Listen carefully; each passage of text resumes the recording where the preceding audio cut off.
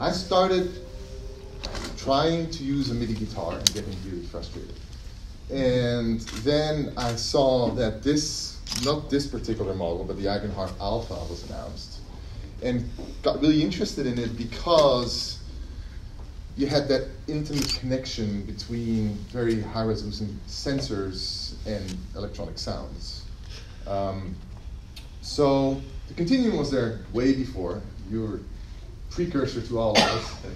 And I had a continuum at 1.2, but because it really takes a lot of time to learn, I figured that someone else might make a better use out of it. So Antonio, if you guys know him, he's, he's got my continuum.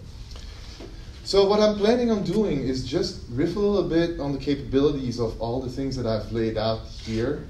Um, I basically have set, set up nothing in terms of sounds because everything is possible. Um, if you guys have questions, we can try to figure it out, or I can try to demo it, or I can say what my opinion is. Um, and if you guys want to come over and try things out, we can try setting things up. Um, so let me start with this little one. So this is the Eigenharp Pico. This is my first real alternative controller that I that I got. And the reason I got it was I told myself a lie. I said I'm going to buy this as a present for my girlfriend. she didn't play it for a long time. Like she tried it out a few times and then that was it. I took it over because it's actually a really really nice controller. Um, so what it has, just like every Eigenharp, it's got keys that move in three dimensions and that are extremely sensitive. You can blow on them and it will register wind going over them. Um, the challenge is, of course, just like with the Continuum, because it's so sensitive, you really have to learn how to play it.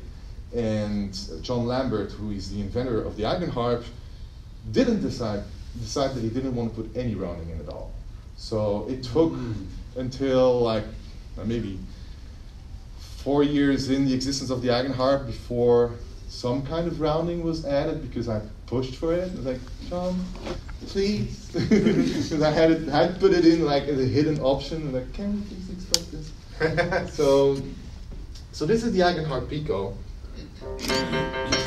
The way it works is that it doesn't do anything by itself, just like most of these controllers. It requires a computer um, sadly, it is not MIDI class compliant because the idea is that you get very high resolution sensory data going into a dedicated piece of software that runs on a computer that's called EigenD, um, which is then able to have synthesis prim primitives that run in there so you can craft your own sounds um, and so that you can also host audio units and VSTs and control the floating point parameters of these plugins with the controls that you have on the instrument.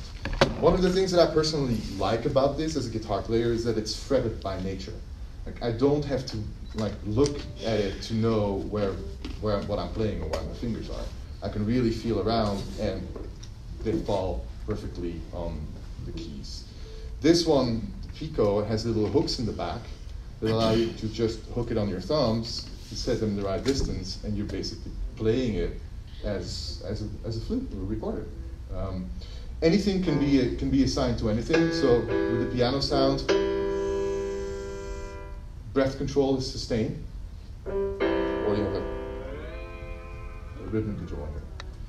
One of the things that I thought was quite innovative with the Eigenharp, and we've also used uh, that idea on the instrument, but like a next level of that, is instead of having uh, an LCD on the instrument, to use the LEDs in particular uh, colors and arrangements to guide the user through different capabilities of the instrument.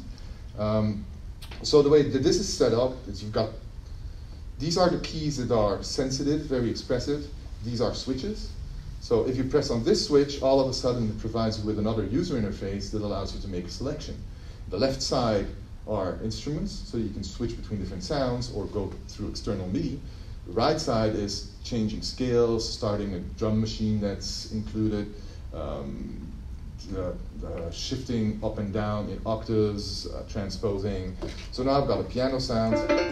I don't remember these anymore, but I was super surprised this morning that I actually remembered that this were the instruments, and then oh my god, I haven't played this in maybe five years, but I don't remember. I got it actually.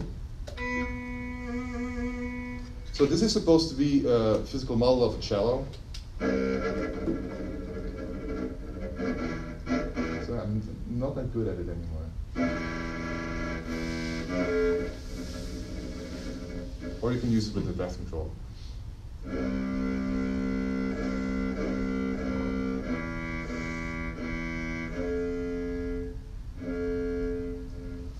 So that was my first foray in alternative controllers.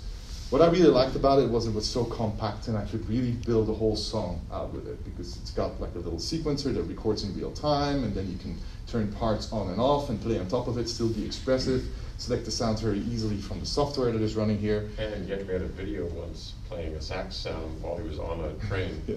Yeah. He put the, the phone camera in the seat in front of him and made the video and published it on YouTube. I was on my way to music lesson. um, the downside for me is that it's very much tied to the software that's running on the computer. And none of this data is standard that is coming out of the USB cable, so without the software, you can basically do nothing with it.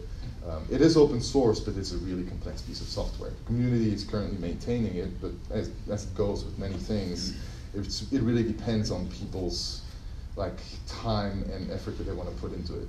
Maybe so, stop making them down. No, the company's still around, but I think Eigenharp was too much too soon. Just the way that I look at it. It's got amazing ideas. So this is this is the big one. This is the Eigenharp Tau which is similar. It's got all the same functionalities, you've got all the keys, but here you've got bigger keys that instead of being um, hollow, they're curved outwards, so you can basically wrap your fingers around it like this. And the idea being that you hold it with a strap. There's also a leather strap that goes around your shoulder if you want to. You hang it here, you can be playing chords or melody lines with your left hand while your right hand can either do percussion or play bass, for instance. And you also have a ribbon strip controller at the back with the breath controller here that does like, similar functionalities. Um, you can play it. One of the things I liked about this one in particular is that it's super light, and I carry it around in a, in a bass gig bag. Um, so I get no problems taking it on the airplane. You just think that I'm carrying around a bass. Um, with the Eigenharp Alpha, that's even bigger, I actually got in a lot of trouble in the airports because the case looks like a rifle case. and you get into these weird situations where you get into the airport and like, you've got a rifle, you can't go through, but it's not a rifle, I'll prove to you. No, don't open the case, you can't oh, take out a rifle in the airport. so it's not a great situation. Schrodinger's rifle? Yeah. I only tried to fly with my Alpha once. Yeah? And I had a very long conversation with the TSA. yeah, yeah. So, but this one is sort of the sweet spot if you want to travel with it because it sort of slots above all the carry-on luggage. The, the spaces are big enough to put it in there. What's nice is that you have a spike that can be attached to it, so you can play it sitting down, play it a little bit like a cello, where you hold it like between your legs and just rest it against your thighs. Or you can actually also play it flat. Some people were doing that, where you play it as if you were playing a keyboard um, or play it hanging off of it. So all those different physical interaction models were really interesting to me because just like you said, Sally, earlier in terms of playing techniques on the continuum, the way your body aligns with the instrument that you're using dramatically influences what you're capable of doing with it um, and how, how comfortable you feel with interacting with it. So I'm just going to blaze through. Feel free to interrupt, interrupt me at any time um, and ask questions or ask me. Can I ask you a question yeah. about the Eigenharp? I mean, when I started looking at the Eigenharp, it seemed like there were so many ways you could configure it and orient it for playing. It was almost like yeah. I wanted somebody to tell me this was how to play it. It was almost like it was so, it was this exploratory environment and and it seemed like it was a, a good thing and a bad thing at the same yeah. time. So what what did this you know, the inventor wanted to do was basically create the Max/MSP of alternative controllers, where everything is a primitive that you can connect together, then build that up to come up with your own way of exploring, of, of this designing your instrument. So it becomes a blank slate, and then you've got, I don't have it hooked up to the projector, I'm sorry, but you've got this piece of software where you can basically say, okay, now I want my tau. Uh, I haven't loaded this up in ages, so I don't know if this is going to work or not.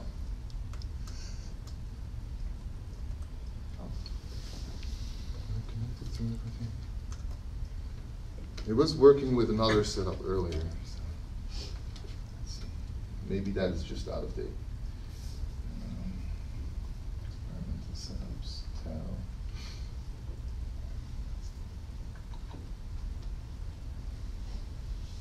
I'm gonna let this a little bit. This is, this is the standard setup, so it allows you to do all of the things I was I mentioned before, but to switch between different splits, to have individual instruments in different different rectangles, to kind of stretch them out or compress them, to um, record sequences, to transpose individual instruments.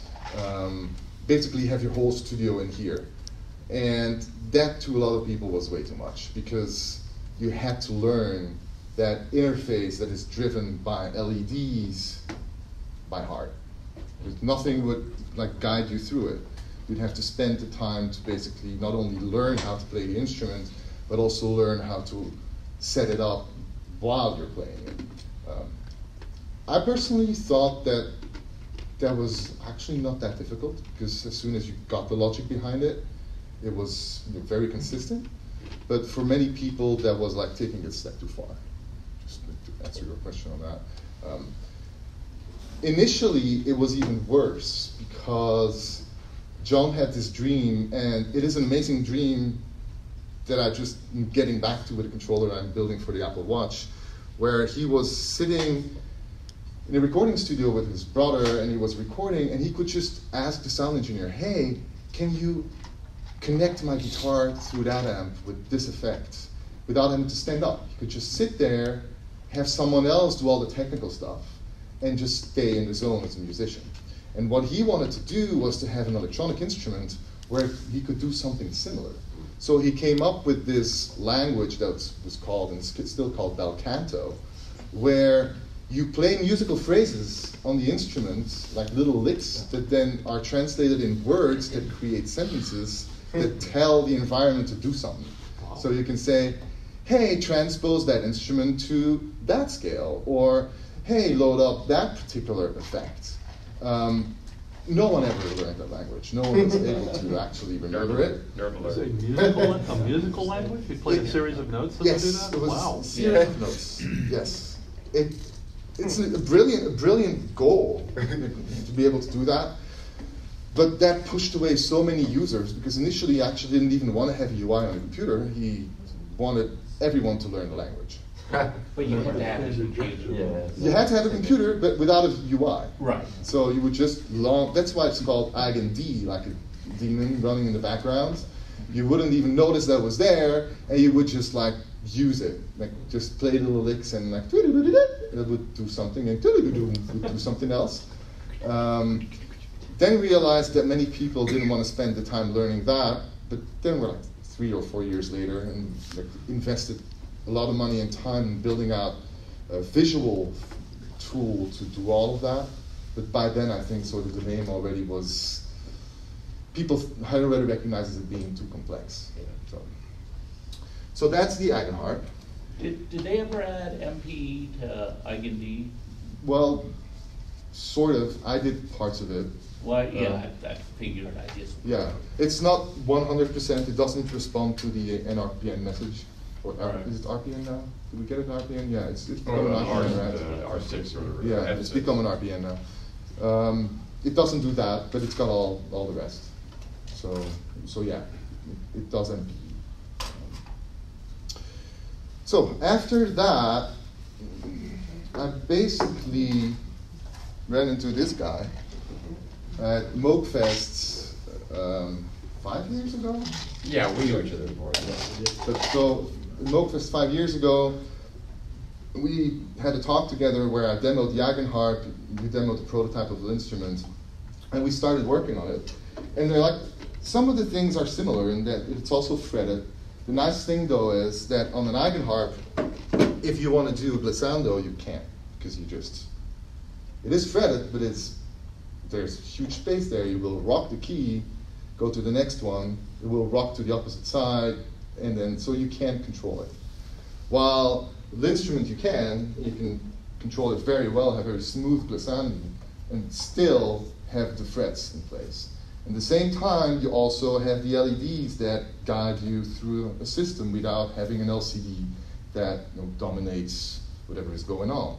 So you've got per split settings, global settings, and to make it even easier, instead of having to learn all of this by heart, the manual is just printed at the top and the bottom. So every little cell is represented with a little rectangle at the bottom and the top. So you just read what is going on, and based on what is active or not active, you know what is what it's set up as. Yeah, like the printing on the top of the continuum panel. Yeah. So this is my little baby, so I'm like hesitant on talking about it too much. I feel like I'm pushing for my stuff, but um, Push away. I don't know, someone else might be sitting here that has some questions here. Yeah. So what what I really like about the instrument, having been involved in it for so long, just like what Ed just mentioned earlier, it it's been like a journey of discoveries. Like you you have this technology that you adopt, and then over the years discover how you can make things better. Like it's been a whole process getting to velocity that feels just natural. Like being able to play piano sounds with it, hook it up, class compliant USB, you can hook it up to anything, play piano sounds, and the velocity feels the way you would expect it. But then at the same time, you can also have continuous pressure and assign it to something that would react to that, and you have you have a feel that also feels natural and controls well. Um, at the same time, also keep control over like the challenging multi-dimensional axes. What will happen if you press down, but you you you rock upwards to the y-axis? What what happens when you go over the little cells and the pressure changes a little bit, but you still want to have it by ear remain consistent without removing control from the user. Um, also, how to figure out what the rounding factors are so that people can step up to it, play in tune, but don't feel like when they're starting a glissando or a vibrato that they're disconnected from the pitch changes. And that we worked a lot on like all those little details, just like, like like you guys, to try to find what really fits that particular instrument, like which algorithms make it feel natural, as if no work has been done, basically. Right? like that's what you want. The people just step up to it and say, hey, yeah, that does what I thought it would do. And it's all open source. It's all open source. People contr- contribute really regularly. It's all on GitHub. Um, there's also a whole mode that allows it to be reconfigured over MIDI. It's a user firmware mode for people that don't want to dig into C++, but want to use it as a blank slate. And then you can twiddle the, the, the, LED, the LEDs, you can get information for each cell and reconfigure it. Uh, one of the things that I did with that was, no, the name escapes me, um, there's a company that makes teaching software for uh, pad controllers, um, Melodics? Yeah, Melodics. Um, they also had like a scripting language to integrate controllers into their ecosystem. And so by the fact that their system was well documented and open, and the Eigenharp had this user firmware, uh, sorry, the instrument had this user firmware mode. If you connect the instrument up to Melodics, all of a sudden, oops, it's going into user firmware mode, and you get the UI that is displayed on screen in Melodics without actually having to do any firmware upgrades. It's all over MIDI. So that, that's, that's pretty fun. Um, that's about it for the instrument that I can say off the top of my head. Any questions about it? I guess Roger has told about told a lot of things about it already. So That's a nice overview. yeah. So moving on Oh, from I'm that. sorry, I just have one question. Yeah. Uh, What made you decide to do the smaller version? I, I guess that's where I. Just to have a, a cheaper one, uh, it was always in It the was plans. a price point What? decision, a price point for for Yeah, your yeah, class? the, this, the smaller one's nine ninety-nine and the big one's fourteen ninety-nine. But the funny thing is, is that I, I sell less of the smaller ones than the big ones So it's kind of like when people say, if they, people are interested enough to buy one of them, they say, well, I might as well pay five hundred dollars more and get I the big mean, one. speaking as a, as a sort of poor person, uh, a thousand dollars and a fifteen hundred isn't that big of a difference to even to me, Yeah. so it's like, if you're gonna go with a thousand, you might as well go with a fifteen hundred. And and it's actually, it's not so bad because I make less profit proportionally on the small one Yeah. than the big one, because it's almost the whole thing is the same inside except for size, the circuit boards and some chips, but it's mostly the same components. Um, I just thought it would be, there's always this component of portability, Yeah. and you know, since people are very concerned that they're a gigging musician and they travel on the plane, everything, every time you can save a little bit of size, it's a huge Europe likes deal. more because there's more people without cars there, and they put it in the backpack. Yeah. And it comes with a, a neoprene sleeve case, which makes it very compact, whereas the big one has a folding zipper padded case. Uh-huh. So it is, it, it all, all, uh, together, it's more compact. Yeah, I prefer the smaller one personally, Huh? because like, European? It fits in my backpack. Yeah. I can take it anywhere. I just, you've got, I've got my laptop and like the iPad Pro pouch that is supposed to be together with the laptop holds the instrument one twenty-eight perfectly, so I just always have it with me. Yeah. Uh, I actually bought one twenty-eight after I bought the full-size one, just because it fits in my roller bag. Yeah, there you go. And I wanna travel, I wanna. Yeah. I think the big one is, is mostly good if you're gonna do two-handed play. There's a lot of people that do that, two-handed piano style play. Um, and other than that, it's kinda like if you had, if you're a guitar player, um, and you're doing solo runs, and you had a guitar that's, uh, twenty-four frets and one's, that- one that's, uh, fifteen frets. Uh, because the small one is fifteen frets plus open string, the big one is twenty-four frets plus open string. And you find if you're doing a run, if you, you're blocked at the fifteenth fret, uh, it would affect your playing. Right. Randy, sort of, uh, rather sort of answer this question, but like, what's the most popular orientation for, for playing? Yeah, yeah. Or just, I've seen most people playing it flat like this. Yeah. And wasn't there hardware, uh, mounting hardware? There's, you can put like So little that's- guitar yeah, strap that's- pins in here and, and just wear it with a regular gu- guitar strap. Um, you can actually use all four of them to have it like that in front of you with like little shoulder straps. Oh. Um, so I've seen some people use that. Um, but yeah. You use it as a platform for you're selling popcorn at ball games. Yeah. yep. You're So, need so one, the Roger. small, the small one, how many pads? I'm, I'm sorry? The small one, how, how many pads? And the small one, how many? Oh, uh, the pads, note Yeah. pads? No, This- no. Twenty-eight. One twenty-eight on the small one and two hundred on the big one. Two hundred, rough? No, not two, not two fifty-six, right? No, no, two hundred, Okay. because two hundred is, uh, twenty-five columns, which is exactly two octaves, times eight rows. Ah, okay, okay. Yeah. And you can use it. You can use it also like to display messages to the Okay. Yep. it's little things like that that makes it fun. Like it, it, it took me like two weeks to allow that to be edited on the on the instrument and people can put in the That's like the- letters and then standing across the room like, hey kids, can you read that letter that is not even eight by eight pixels but still has to make sense? You also, you made a It's like the you mini made a pillow. uh, QWERTY keyboard. in Yeah, uh, yeah. So the little things you can hook it up to the computer, and then there's a helper software that can run, and you switch it. It's also like user firmware mode. You switch it so that it becomes a QWERTY keyboard. You just type on it, and then you switch it back, and it becomes a, like uh, an alternative controller. Um, yeah, open source is cool for that. Other questions? Okay. I'll move right along to this little baby that I absolutely love. It's called Leap Motion. It costs hundred bucks. I think it's even less now. Yeah, it's like rebated. Um, they initially wanted to use that for computer control, found that it was too much too soon for people again. People really didn't latch onto it. What is beautiful about it is that it's really high resolution and low latency. Um, and currently they're going into VR, so mounting this on VR headsets. They're working on a new headset that has it incorporated. What I did with this, For those that don't know, maybe tell them what it actually senses. It's the whole, Yeah. redraws your whole hand. Right. So there's like there's three infrared cameras in there that take pictures of your hands, and then they've got an algorithm that interpolates and matches up all the imagery so that it can detect your fingers. Um, nice, they've got a nice little visualizer here. I'm sorry for the guys in the back. I should have really. Oh, this is like the images that you see. Did you wanna hook it up here? That maybe yeah, that would be a good idea. Yeah, it won't take very long. If people wanna come up closer, they can certainly do that. I don't wanna come up. Yeah, but they were.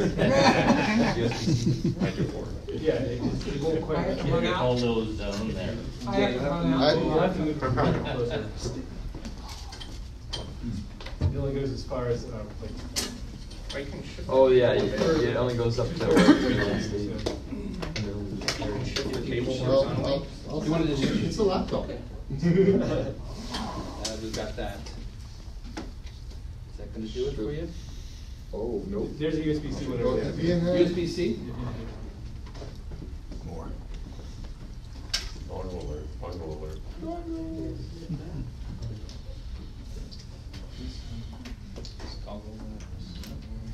I plus out. And custom too. So they came out with a, uh, a hard shell case for MacBooks and it's a built-in USB. I saw that. Built into the case, which is fantastic. Screen on. Yeah, white keys. And then a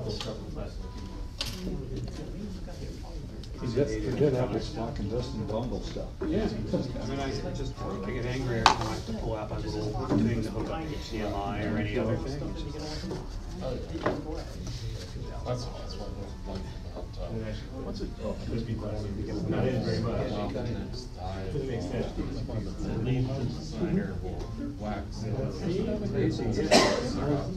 It's lower. uh, It's lower.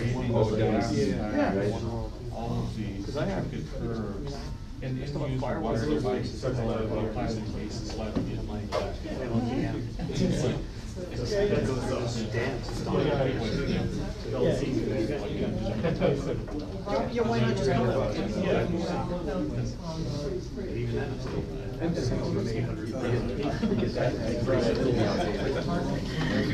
You just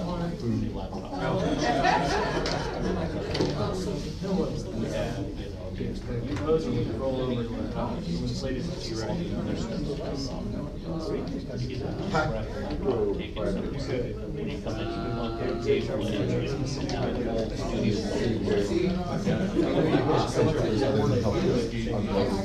The tech is working. So you can see the image of my hand here.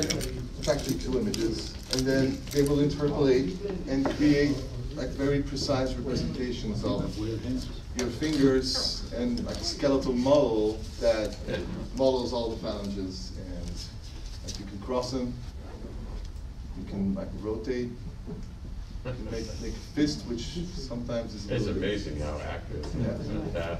one of the things that sort of doesn't work, they were working on that before moving to VR, is touching. Um, sometimes it does work, I thought sometimes they it forked doesn't. Out the occlusion, that hidden. Yeah, you can't, yeah, because Uh, some fingers. That's why, that's why I couldn't use it. I wanted to set it underneath the Theremin's, uh, volume antenna. Yeah. But, but when, uh, the, th- the antenna is uh, obscuring parts of my hand, the Oh, disappears. there you. Yeah. Yes, that was. Sally, you about had a question? Yeah, that's, what, what is, that's the Leap Motion? That's the Leap Motion, Yeah. actually, yeah. Um, So, just- this is just their visualizer, just to show you what the little device does, right? So, what I did then was build this piece of software called GECO.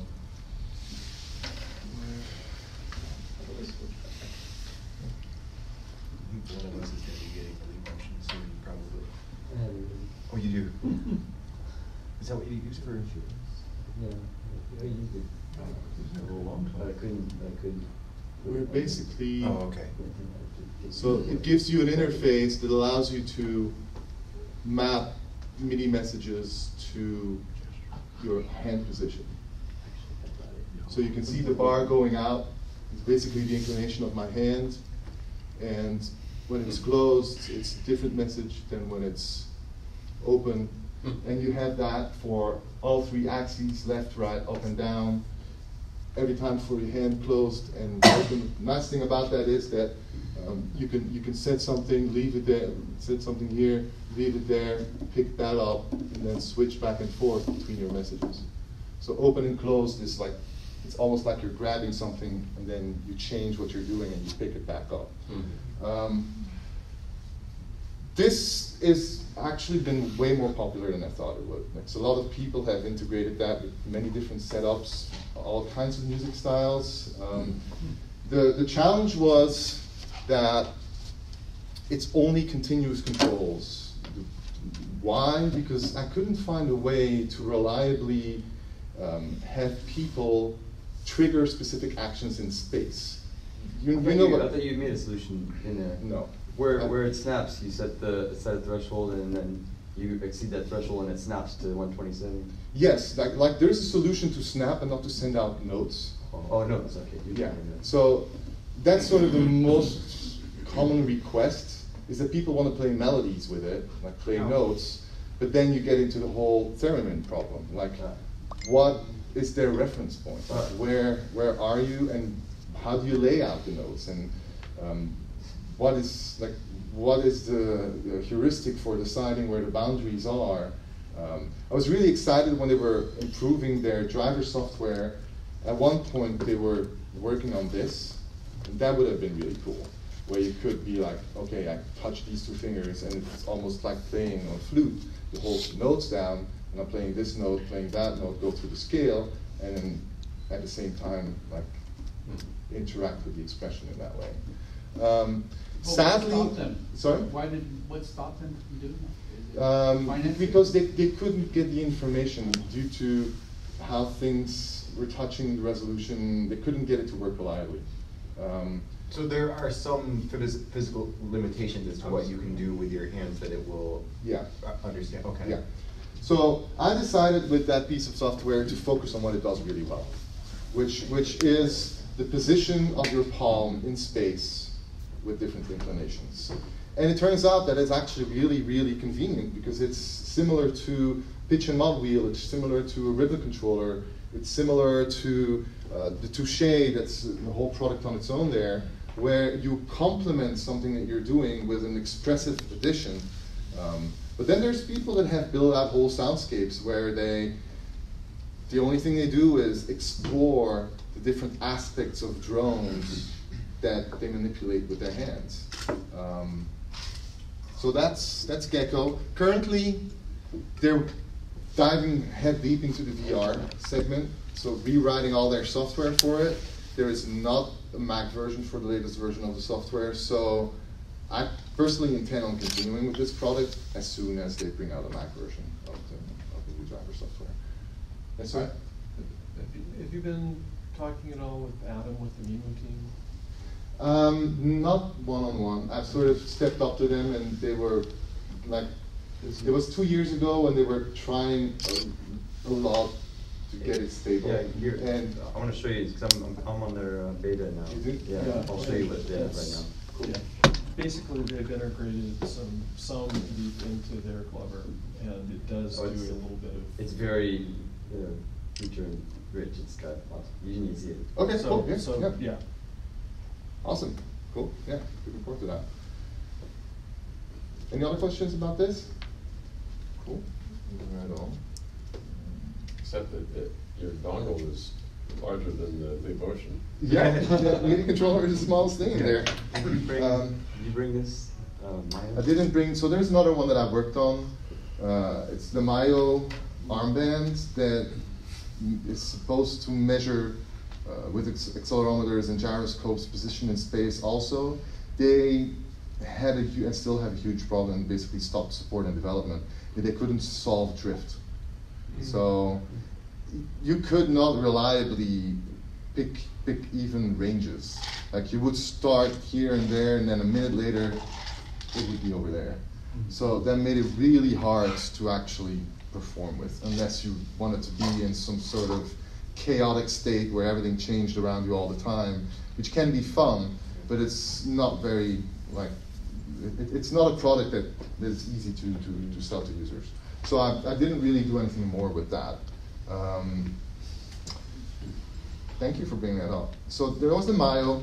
Then I, I tried out ROLI, but this is their later keyboard, so I'm not going to talk about that first. right when we were doing the instrument, like two years in, I think, these people started a Kickstarter, Sensel, which is a Sensel Morph, which is basically a pressure sensitive surface that is extremely high resolution again, can measure very, very soft uh, touches up to extremely strong touches, works all the way from brush strokes up to hitting it for percussion. Um, and one of the unique things that they have is, that, I don't know what the technology is. I think it is just ma- magnetic. Magnet. Magnet. Yeah, Yeah. it's just magnetic. Oh, everyone knows it. Who doesn't know the Sensel Morph? You. Okay, cool. So they've got magnets in these overlays that allow the controller to identify what the overlay does. And then a computer editor that allows you to reassign what the different things on your controller do. So you can actually have multiple of these and just slap them in, or have like this is their latest overlay, which is a Buchla uh, Thunder. so you basically swap that in, and as soon as it gets in there, it will start acting as this overlay. Um, this one, I'm really. Has anyone actually used a Sensel Morph? Or just know of it? He has one right You have one right there? If you've never touched this, I'm very impressed with the quality of these overlays. I thought that when I was backing this on Kickstarter, there was going to be like a shitty feel that I wouldn't want to touch, but it's very, very pleasant. And even these, like these rounded controls that they have here, they're slightly hollowed out with a little ridge on the edges mm. that your fingers nicely grab into, and it's satisfying. It, I, I think that they did an amazing job with this.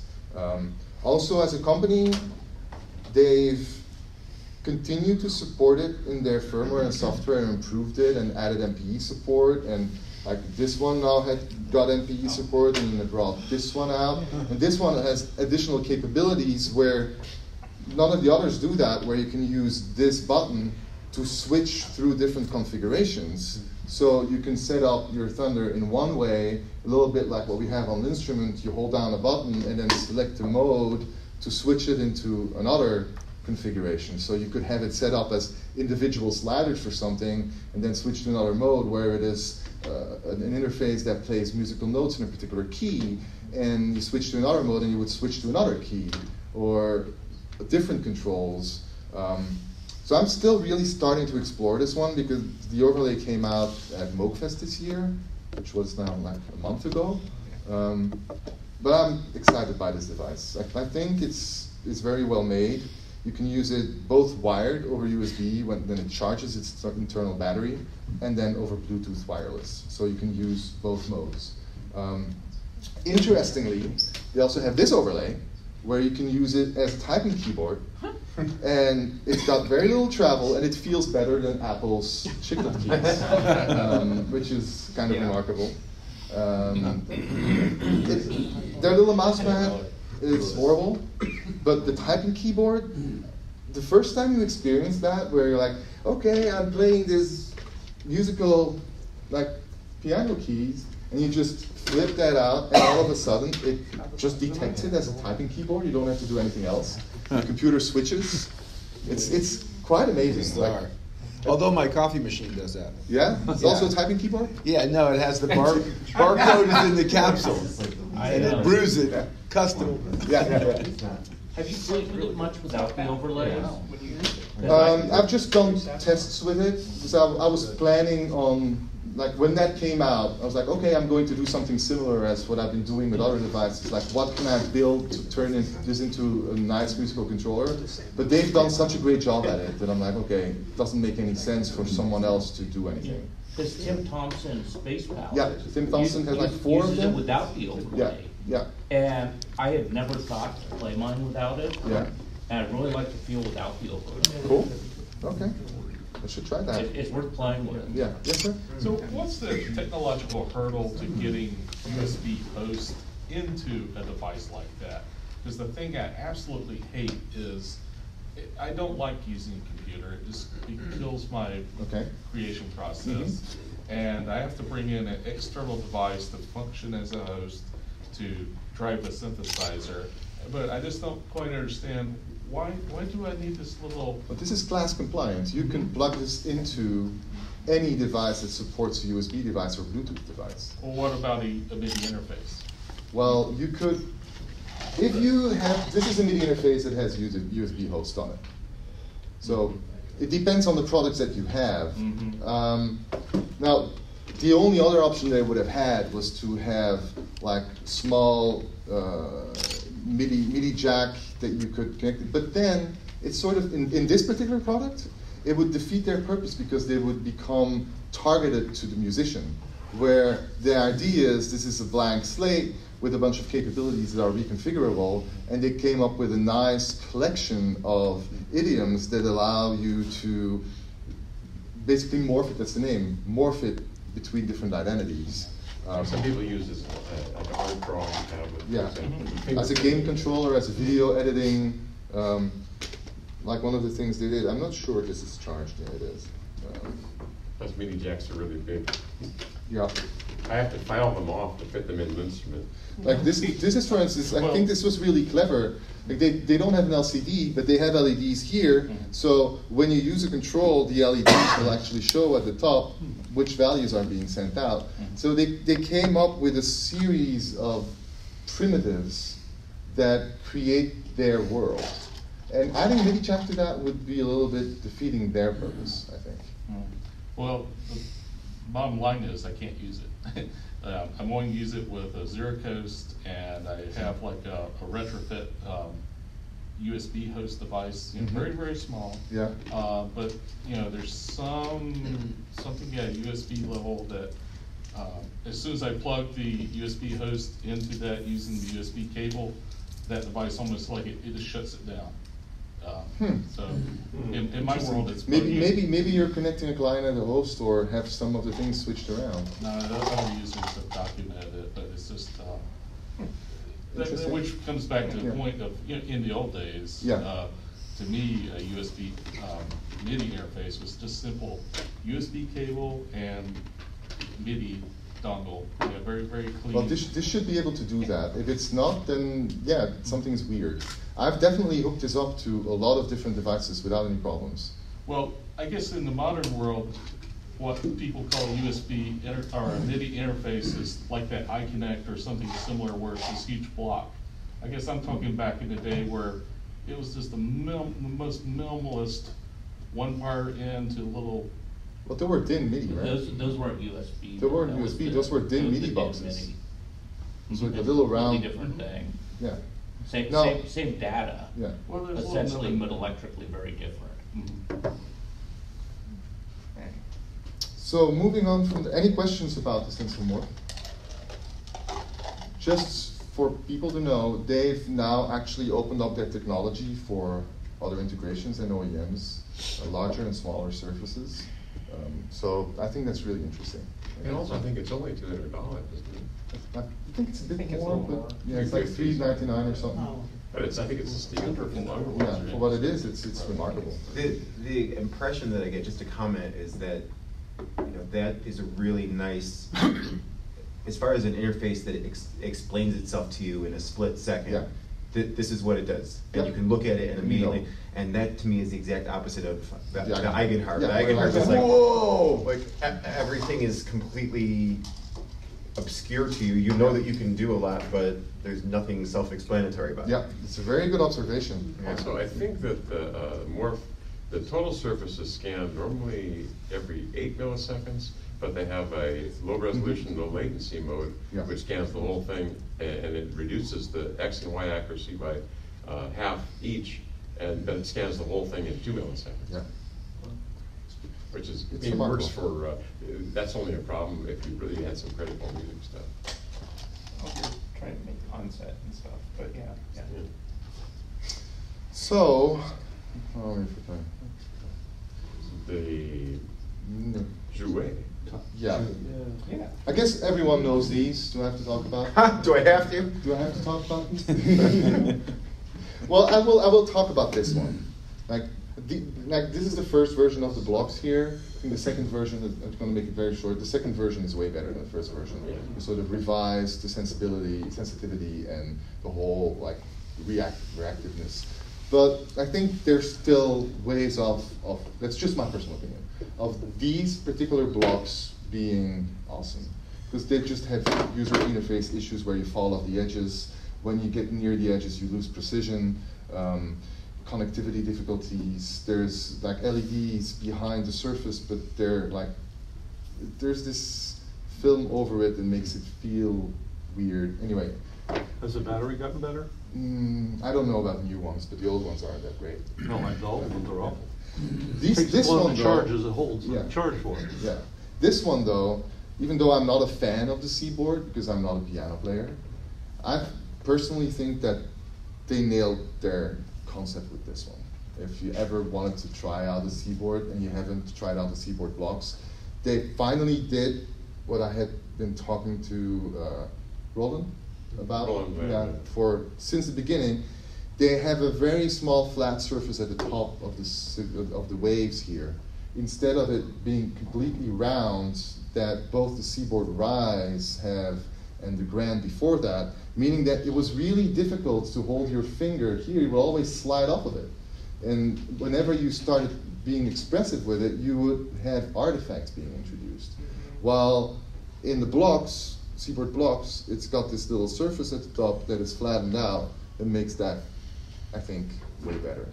Um, you get all the capabilities the that keys still equidistant? and you got the same like technology of the rest of the seaboards. Um, So this where C, between C and, I mean, between the, the two white keys? Yeah. The, the spacing's Yeah. maintained like a piano? It still feels. And it's only three hundred dollars. yes, this one is cheap, three hundred dollars. You can connect a few of them together if you want to get a wider one. Yeah, it has a magnetic connection to any other uh, blocks in the block series. They have a loop block, they have a control block, they This have the. is the developer light block, which just has numbers. Yeah, and then you can't really do anything with it. no, for real. I'm sorry to say that, but they sold me that like, hey, you can get the developer kit for free. Like a month later, they end of life it, and now you basically can't do anything with this block. Occupy. Oh, wait, they're round. Right. It's like Android skin. That's why I said for free, but for twenty percent off. Oh. Um, moving on to Joué, which I think is is beautiful. I do it's, too. It's it, it's got this wooden finish. It's like a Feels- Lister Mini. It's like a Lister Mini. Um, it's the same guy that did. Um, God, I'm gonna. The Jazz Mutant Lemur. Did the lemur? Pascal Um, Joguet. Yeah.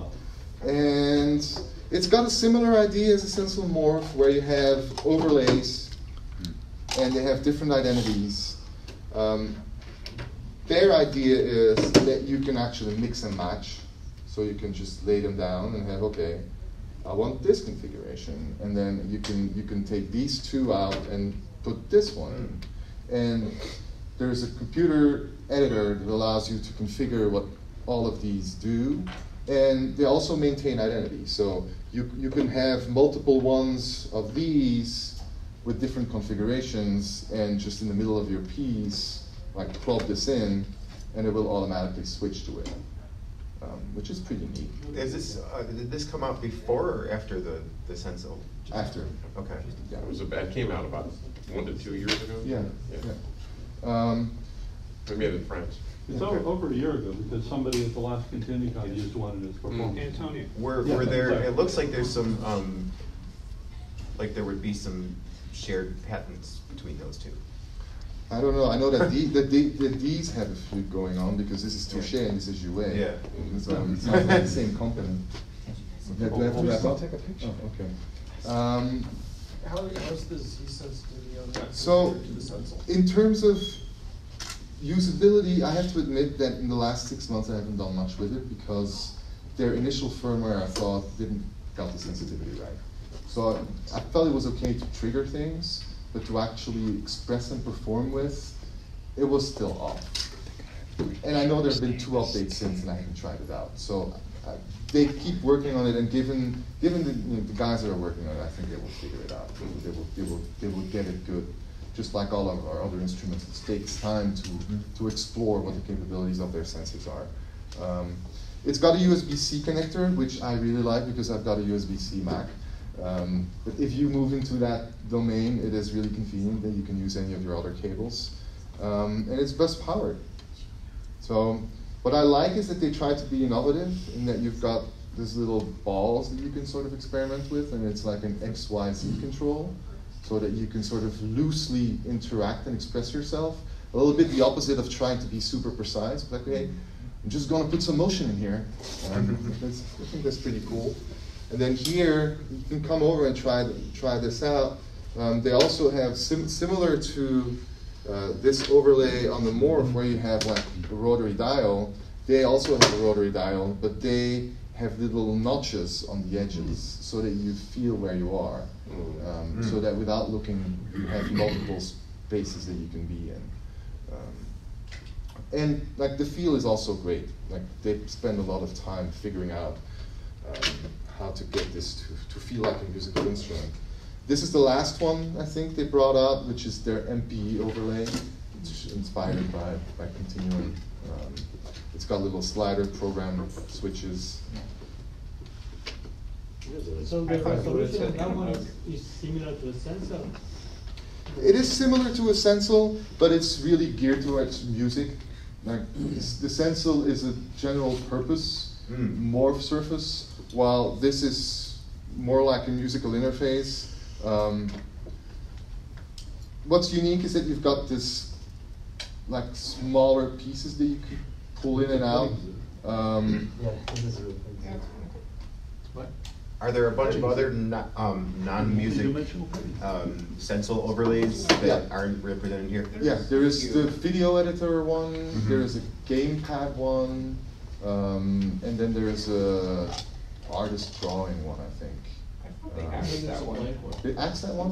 Yeah, because they were gaining enough sensitivity. Oh, through it. okay, well, I just remembered it from the Kickstarter. Yeah, no, Yeah. no. And the Sensel also has a clear overlay, and you can put a Oh. thin piece of printed paper underneath that it. the one- Yeah. That's like their inno- innovators overlay.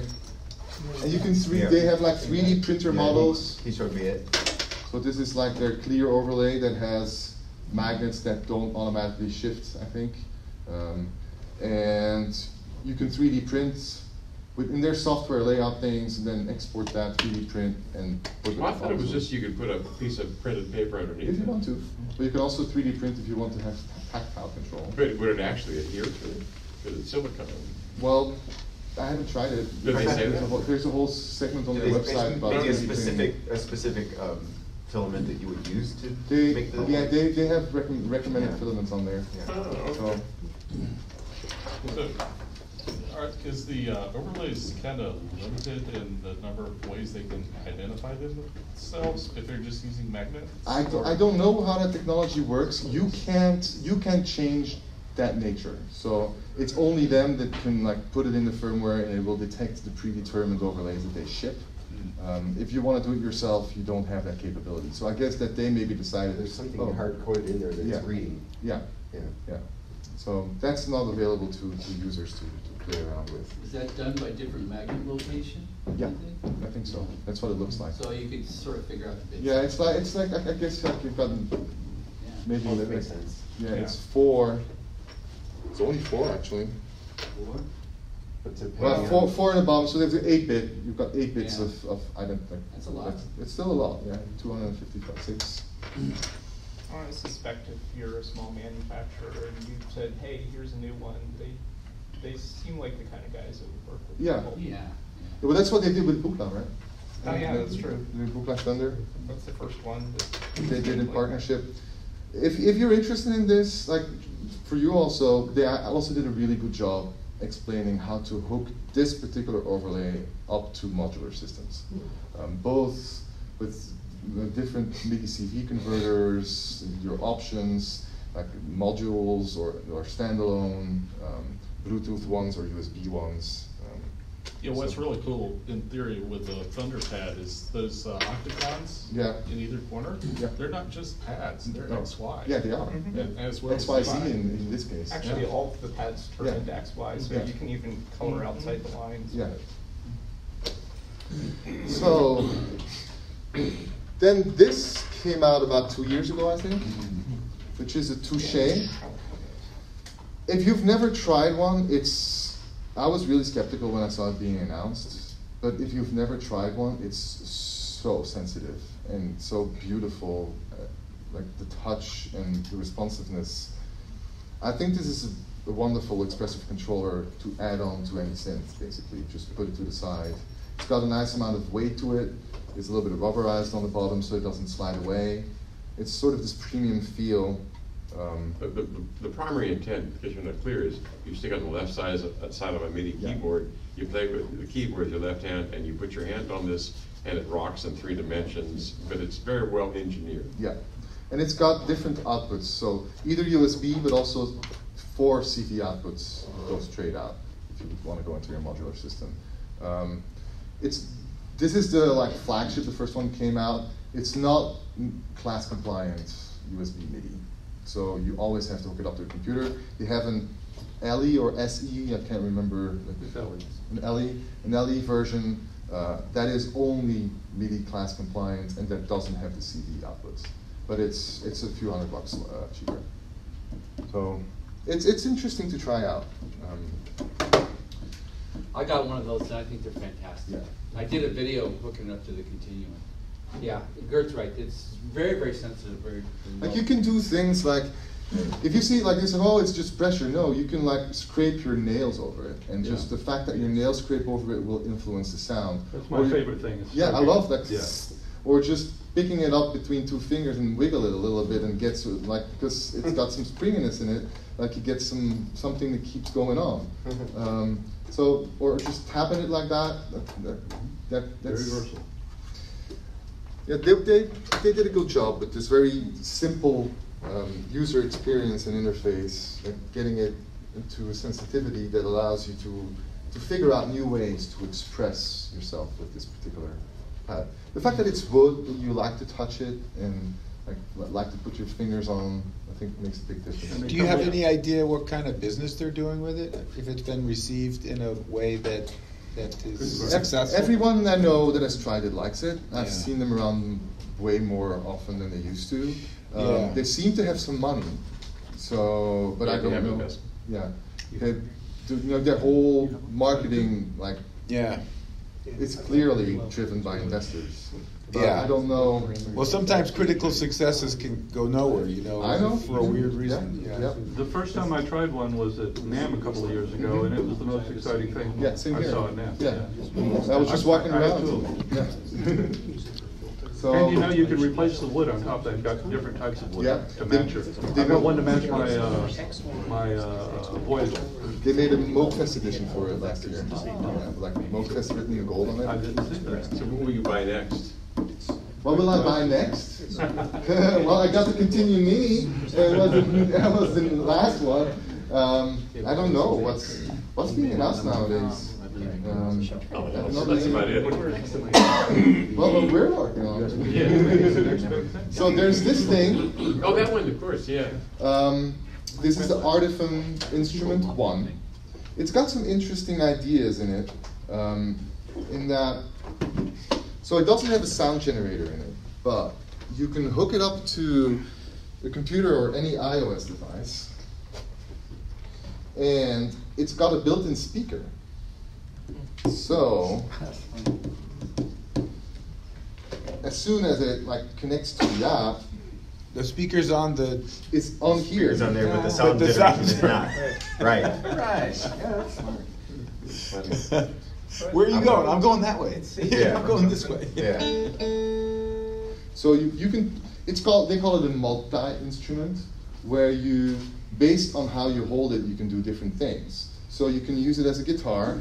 So these would be, But still not.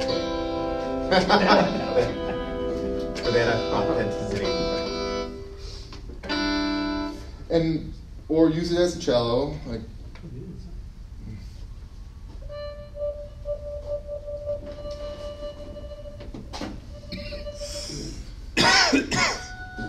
or use it as a piano where you So they figured out that the interface here, you cycle through instruments, it's really intuitive. You've got a little knob here that allows you to dial in the volume, and then a multi-purpose interface here that is interpreted differently based on the interface. um, personally, it feels more like a toy to me than, say that than anything else. word, yeah. But if you go online and look at their community, it seems that a lot of people have a lot of fun with it and, and make a lot of like music. Like there's hundreds and hundreds of videos being recorded with this thing where people overdub themselves and only play this. I was surprised when I saw that. So and also, it can recognize Z, uh, X Yeah. axis, but only if it, at that time, doesn't recognize Z axis. Yeah, yeah. So it's either Z or X, Yeah. and not Y. So I don't know, maybe Why not? may- maybe like us being in this realm of being really geared towards like very expressive controllers that are becoming instruments because they're tapping so much into sensor capabilities. Maybe there is this segment with people that just want to have fun. Yeah. Um, I think it's $400. Yeah. Um, little side note, like this is actually a class compliant speaker, so you can actually hook it up to whatever you want and have your speaker with you. You can play music through it. Um, it's just a fun thing if you have it with you. And they, they've done a lot of work on the quality of it too. Yeah. Because the, the first ones were a little flaky. Yeah. And they really stuck with it. Yeah, I, I, know, I don't know what the history is going to be for them, but it seems that they're like they're still around and people are buying them. So How long's it been around? Four. yeah, three to four years, I'd Four or say. five years. Yeah. Yeah, because I, I helped them some with their, their sensor probably five, six. I did years too. Yeah, I did too. They need a lot of help. It it takes a village, all these instruments. Yeah. So the last thing that I worked on is when the Apple Watch 4 came out. What I've been trying to do since the Apple Watch 1 was you've got the controller on here, a physical controller, that is the digital crown, that actually has a really nice feel to it. It's got haptic feedback, and you can use it without looking at it. So I wrote this app that allows you to use your Apple Watch and then send out and configure MIDI CC messages, and you you dial, turn the dial, and you can have macro control over up to four knobs and configure which CC mes- messages they send out. And then going further, you can have tab buttons if you just want to you know, turn things on or off. Little XY pad. Program change. And this is transport control, and I, that's actually the most useful thing on there. Because you're sitting there with your instrument, and what I always find is when I'm recording by myself, I don't want to go to the computer and like mess around with the DAW. I just want to sit there, okay, record, overdub, and having that on your watch is super convenient. Um, additionally, I could also react to Siri, which is even more convenient because you just put your, if you don't have an Apple Watch, this works with Siri, and I can say, hey Siri, press record, and so it will press, it will send the record transport message to the DAW. And so it, it's done, it's got no DAW connected, but it will start recording and say, hey Siri, press stop, and we'll stop. Hey Siri, press rewind, and we'll rewind. So it's not really expressive control, but I think that if like if you're expressive and really staying in the zone, what I always find annoying is having to deal with the technical stuff. So being able to just keep that in your own space and being mm. able to interact with the less musical aspects of things, that's pretty cool. But there is a drawback to that, Geert. Yeah. If you write a song and the lyrics are, "Hey Siri, stop record," Yeah, and then you never get the take Well, that. then, then you reconfigure, then you reconfigure Siri and you say, hey Charlene. Or, this is a serious topic. like, it, it's what was kind of interesting is I was recording a podcast. Someone had invited me to record a podcast, like uh, the Apple Insider podcast, and we're talking about it. And so I do a demo, I say, "Hey Siri," and everyone's phone goes off. and, and so I'm like, "Oh, maybe we should cut that out of the podcast." And he's like, "No, we're going to keep that in." And so like twenty thousand podcast users oh, they can listen to the podcast, and like, oh, most of them Apple users, all of them will have their phones going off like, "Hey Siri." So does that work with all four editions of the Apple Watch? Yeah, yeah. So that's it. If you guys want to come over and try things out, that is sort of what I had like to talk about. All right.